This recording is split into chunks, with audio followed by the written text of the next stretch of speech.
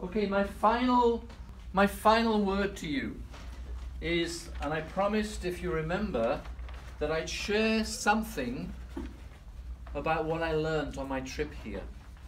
Um, and I've entitled this, What Brought You Here Won't Get You There. Meaning, what brought you to this present moment in your life in your career and in the team and as an organization, in the habits or the movement that you want to make to succeed in this great vision that you have. This is an organization who is doing so many wonderful things to break uh, injustice around the world, to deal with those places in people's lives where they're feeling disempowered. And that's a wonderful mission to have as an organization. To make that happen, you've got to be able to break your limiting mindsets. Would you agree? I think this is a book written by. Uh, This is a book written by Marshall Goldsmith, great uh, leadership coach, uh, and it's a great read if you want to have a look at it. I want to illustrate this by just sharing with you what happened to me uh, on my journey here. And if you remember, I was supposed to arrive in Singapore on Sunday morning and then actually arrive here on Sunday evening. But the crisis happened meaning that when I got to the airport in Portland, I was sitting on the tarmac for seven hours, and then came the real risk that I would miss being here until Monday evening or Tuesday. Uh, and what happened to me was something what I now see as miraculous, and I want to share with you the way of actually breaking mindsets, limiting mindsets that stop you achieving the possibility that you want to achieve, both for your individual lives and for the team goals and the organizational goals that you have. So there I was, and I was on the tarmac, and they kept announcing and announcing there's a delay and a further delay and a further delay. And when I got off, got off the flight, because the captain said everybody off at 11 o'clock at that night, I realized that I was missing all potential connections to be here on time. My environment or my circumstances were limiting me. And I had a choice then. Am I going to let my environment stop me? So, the first issue that you have to overcome is your environment. As you look around your environment, there are all sorts of issues that you need to face. I chose, literally chose, not to let my environment condition what would happen. And I did that by doing what? Having a mission in front of me. Our company, my company, always puts customers first. And that drove me to know that I was going to be here. I'd also made a commitment to Sally and to Colin to make sure I was here. And where's Sally? And if you remember, I wrote a mail to you saying, I will move heaven and earth to be there on time. What could I have done? I could have said, There's no hope. The captain said, We can't go. The people that I was in the queue for four hours waiting to redefine my flight or reroute my flight kept telling me, It's not possible, it's not possible, it's not possible. But I decided to be stronger than my environment was trying to tell me I should be. What kept me going for there was a really strong sense of mission. What do I believe in? What am I about? The second thing I decided to master was my body. I left the previous meeting at midday on Friday. I had nothing to eat and I hadn't slept very much the night before. And by midnight, I was in the queue. And I was in the queue for four hours waiting for them to try and find a route that I could come to. How do you think I felt? I was exhausted. I was hungry. My body was saying to me, give up. But I said to myself, and I remember at 3.45 in the morning, um, when the next woman who was dealing with me came in, I thought I was going to collapse. But I strongly said to myself, no, I am stronger than my body. I am bigger than my body.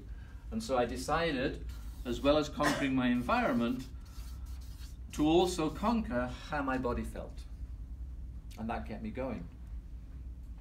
Also, I decided to be stronger than time. Meaning, as I looked at the schedules that they were giving me, everything said, based on previous experience, this is not possible. If I looked into the future about the flights that they were giving me, they also wouldn't get me here on time. How did I combat that? By staying in the present moment and still reaffirming positively the mission I had that I would be here on time. And by staying in the present moment, I think, suddenly at 3:45 this woman came to deal with me and she started looking. So I call her my guardian angel that somehow manifested because of my positivity and deciding that I would be bigger than my environment, bigger than my body, and bigger than time. And she found a route that nobody had looked at. Now, it took me five flights, five flights instead of two, but I was so pleased.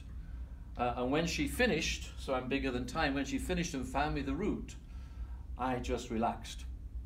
As I relaxed and went to find uh, a hotel, because I didn't have a hotel in Portland, guess what I came across? A group of Star Wars troopers celebrating uh, children and a charity called Make a Wish. And the charity said, if you wish strongly for something with your intent and with your emotion, then it will come to pass. And as I came across this group of people, all dressed in Star Wars uniform, one of them had the, what do they call this thing that lights up? Lightsaber. The lightsaber. And they gave me the lightsaber, and they literally said to me, You're a hero. that was part of their routine. But it was one of those synchronistic events that just came out of nowhere that made me feel really good because by then I knew that I would be here on time. So, what did I do? I saw my circumstances. I saw the limiting constraints that I couldn't make it. But I decided to be stronger than my environment, stronger than my body, and stronger than time to make sure I was here. And somehow, what happened conspired to make my wish come true. The final thing was I had a team supporting me. We are about teamwork here. The team that was supporting me was a group of people that I spent last week with, deciding and, de- and learning new things, who were constantly sending me WhatsApp to encourage me, to support me, to say it's going to be fine. And I knew, and when I talked to Sally, because I told her uh, the flight was actually, you know, late, I felt Sally's support and I felt Colin's support. So when you are trying to break habits and break limiting beliefs, make sure you have a group of people around you who are holding you up. And what it means is don't go back to your previous habits of thinking.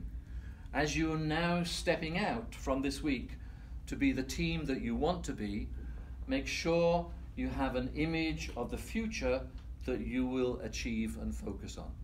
So, my last words to you before I call uh, Colin to just close the program is in your personal life and in your life as a team, recognize that there are old habits of thinking that if you want to achieve the possible dreams that you want to achieve, you've got to let those habits go and you've got to recognize that when you focus to be bigger than your environment, to be bigger than your body, and to be bigger than time, something somehow will come to you to light the way for you to achieve what it is that you need to achieve. Does that make sense? So I know I've no need to really explain that. You're a spiritual organization who knows that there is guidance and support that can come to you once you set your mind to it. So I'd like to thank you for these two days. I hope I haven't felt too tired. Myself, I didn't feel tired. Yesterday, you kind of really energized me, and despite having no sleep for 48 hours, I loved yesterday. So when I got to my bed, I told you I just collapsed and slept with my clothes on. Why I enjoyed it was because I felt the energy of everybody here. Uh, so really a delight to work with you, real delight to work with you, uh, and I wish you all success. And I know I'll see you again anyway uh, over the next two days, but maybe also in the future. So good luck with everything that you want to achieve personally uh, and as a team. And remember, no limits. Thank you.